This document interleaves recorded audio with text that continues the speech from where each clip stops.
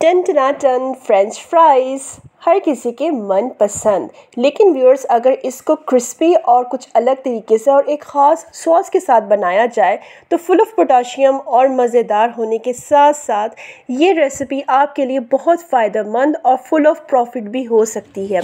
Yes viewers आज recipe share करने के साथ में आपके साथ एक आइडिया भी शेयर करूँगी, जिससे घर बैठे आप अपने जायके को लोगों तक पहुँचा सकते हैं। तो ना सिर्फ़ वो आपके जायके को पसंद करेंगे, बल्कि आपको मज़ीद मुनाफा भी देंगे।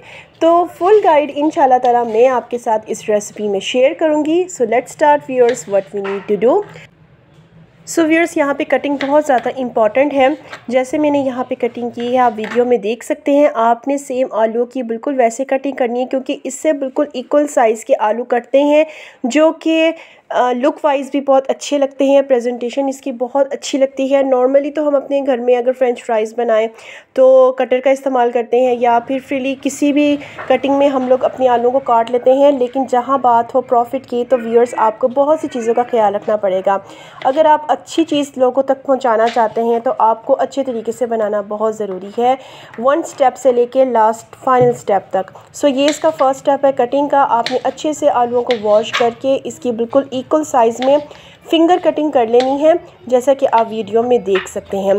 तो यहाँ पे व्यूअर्स मैंने तीन से चार आलूओं को लेके इसकी बिल्कुल इक्वल साइज़ में कटिंग कर ली है, जैसे कि आप वीडियो में देख सकते हैं कि बिल्कुल सेम साइज़ के मैंने आलूओं की कटिंग की है। इसके बाद व्यूअर्स आपने पानी को बॉयल करना है और उसमें एक चम्मच नमक ऐड करना है बिकॉज़ जो नमक है वो एंटीसेप्टिक होता है, जितने जर्म्स होते हैं वो भी ख़त्म करता है और हमारे आलूओं में थोड़ा सा नमकीन जायका ले आएगा। और यहाँ पे देख सकते हैं कि कितनी ऊपर झाग आ गई। रिमूव करके आपने सिर्फ़ दो से तीन मिनट आलूओं को बॉईल करके किचन नैपकिन से थोड़ा सा इनको ड्राई कर लेना है। अब हम थोड़े से व्यूअर्स इसमें इंग्रेडिएंट ऐड करेंगे। एक बड़ा चम्मच बेसन का वन टेबलस्पून बेसन और टू टेबलस्पून कॉर्नफ्लोर के। इससे आलूओं में एक बहुत ही ज़्यादा क्रिस्पीनेस आ जाती है, बहुत मज़ेदार और क्रिस्पी बनते हैं। और एक अच्छा सा फ्लेवर देने के लिए व्यूअर्स मैंने इसमें एक चम्मच चिकन पाउडर का ऐड किया है, जिससे व्यूअर्स इसके जायके में इन ताला बहुत ही ज़बरदस्त टेस्ट आएगा, बहुत ही अच्छा फ़र्क पड़ेगा। और मज़ीद इसका जायका लुक बढ़ाने के लिए इससे मैंने ऐड किया है one two two tablespoon sesame seeds का। साथ आपने व्यूअर्स इसकी अच्छे से मिक्सिंग करनी है। मैंने इसको ज़्यादा देर बॉयल इसलिए नहीं किया ताकि हमारे आलू बिल्कुल भी इसके कॉर्नर्स टूटे नहीं। और यहाँ पे आप देख सकते हैं कि बिल्कुल परफेक्ट रहे हैं। ओके व्यूअर्स यहाँ पे टिप में देती जाऊँ कि हम लोगों ने इसको कॉन्फर्ट इसलिए लगाया और हम लोगों ने आलूओं को बॉयल इसलिए किया है क्योंकि इसकी लाइफ बढ़ाने के लिए। कॉन्फर्ट इसलिए लगाया क्योंकि हम इस स्टेज पे आलूओं को फ्रीज़ कर सकते हैं।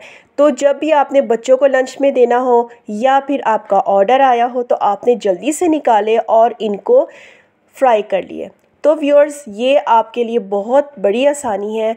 ना झंझट के एकदम आलू छीले, काटे और फिर फ्राई किए, दोबारा बॉईल किए। तो आप इन्हीं को फ्रीज़ करके जब आपने इसको फ्राई करना हो फ्रीज़र से निकाले और आलूओं को आपने फ्राई कर दिया हो। लेकिन इसके साथ हम एक और मज़ेदार सी सॉस बनाएँगे, जिसको भी आप फ्रीज़ कर सकते हैं। तो इसके लिए हमने को लिया है। एक cup minus half cup garlic one teaspoon again chicken powder और अच्छी तरह से आपने धनिया की कटिंग करके इसमें ऐड करनी है टू टेबलस्पून चिली सॉस के और pinch of orange food colour इससे इन ताला आपकी जो ये सॉस बन के तैयार होगी, इसका कलर इतना खूबसूरत आएगा और इतनी अट्रैक्टिव आपकी ये सॉस लगेगी कि सब सोचेंगे कि पता नहीं इसने इस सॉस में क्या ऐड किया है, जो जायके में है ही बेहतरीन और इसका कलर कितना खूबसूरत है। तो व्यूअर्स इन ये फ्रेंच फ्राइज़ के साथ एकदम ज़बरदस्त लगती है। इसके अलावा अगर आप रोल्स बनाएँ चिकन रोल्स बनाएँ, उसमें आप इस्तेमाल कर सकते हैं और इसको इसी तरह किसी बॉटल में डाल के आप महीना फ्रीज़र में रख के सेव कर सकते हैं। तो ये बहुत ज़्यादा प्रॉफिटेबल है, बहुत फ़ायदेमंद है व्यूअर्स और जायके में भी बेहतरीन है। अब हम लोगों ने फ्रेंच फ्राइज़ को फ्राई करना है, लेकिन इसके लिए ऑयल का टम्परेचर हाई होना चाहिए। जब अच्छी तरह से ऑयल गर्म हो जाए व्यूअर्स तब आपने इसमें फ्रेंच फ्राइज़ को ऐड करना है, क्योंकि इसमें कॉर्नफ्लोर है। अगर तो फ्लेम हमारा कम होगा तो ये आपस में चिपक जाएँगे। तो यहाँ पे आपने बहुत हल्के हाथों के साथ चम्मच को मारना है। एकदम से चम्मच आपने तेज़ी से नहीं मारना, वरना चिप्स हमारे टूट जाएँगे और फिर आपको ख़ुद ही पता चल जाएगा जब आलू क्रिस्पी हो जाएँगे और ये ज़्यादा टाइम भी नहीं लेंगे, क्योंकि हम लोगों ने इसको बॉईल किया है। तो इस वजह से ये ज़्यादा टाइम नहीं लेंगे फ्राई होने के लिए। और अगर आपको मज़ीद क्रिस्पी चाहिए हो तो एक दफ़ा फ्राई करके आपने चिप्स को निकालना है और दोबारा फ्राई करना है। तो मज़ीद चिप्स जो है वो आपके क्रिस्पी हो जाएँगे। मुझे तो व्यूअर्स क्रिस्पी चिप्स बहुत ज़्यादा पसंद हैं। आपको कैसे पसंद है मुझे कमेंट में ज़रूर बताइएगा। यहाँ पे आप आवाज़ सुन सकते हैं कि कितने क्रिस्पी है व्यूअर्स लेकिन क्रिस्पी होने के साथ साथ जो हम लोगों ने इसके ऊपर सेसमी सीड्स लगाए थे उसकी वजह से भी जायका हमारा बे इंतहा ज़बरदस्त हो गया था। अब बारी आती है कि आप इसको प्रेजेंट कैसे कर सकते हैं।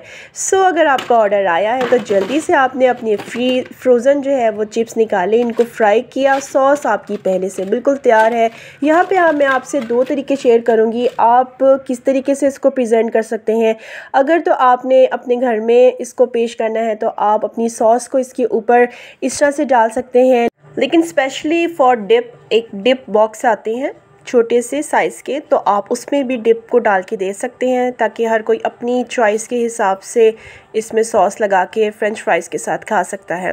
तो व्यूअर्स क्योंकि हम लोगों ने इसके ऊपर कॉर्नफ्लोर भी अप्लाई किया है, और इसको बिल्कुल करेक्ट टेम्परेचर से फ्राई किया है तो ये व्यूअर्स इन ताला आपके बड़ी देर तक जो है फ्रेंच फ्राइज़ क्रिस्पी रहेंगे, मज़ेदार रहेंगे। थोड़ा ऊपर से आप चाट मसाला स्प्रिंकल कर दें सॉस को साथ रख के व्यूअर्स तो आप अपने इस ऑर्डर को डिलीवर कर सकते हैं और मज़ीद मुनाफा भी कमा सकते हैं। तो है ना व्यूअर्स कितनी क्विक और रीज़नेबल और प्रॉफिटेबल रेसिपी बिकॉज़ अगर आप दो काम ये पहले कर लें सॉस इसकी डिप पहले से बना लें और इसको बॉयल करके फ्रीज़ कर लें तो आधा काम तो व्यूअर्स आपका पहले ही हो गया।